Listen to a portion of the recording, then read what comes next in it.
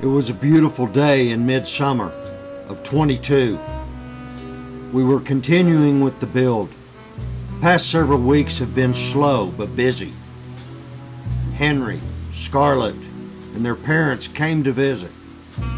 Fishing and life got in the way. And Whisper Flyte took some time off.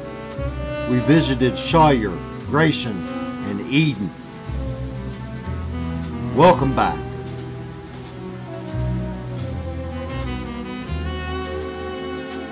It was beginning to get hot and dry in July when these were taken. Looks like it's going to be a hot, dry, brown summer.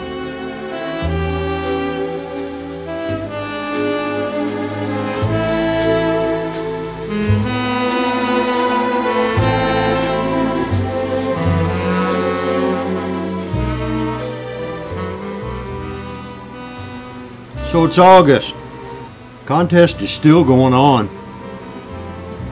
Number 1000 subscriber wins $250 gift certificate to whisperflyte.com. Contest continues. Thank you so much for all that have already subscribed.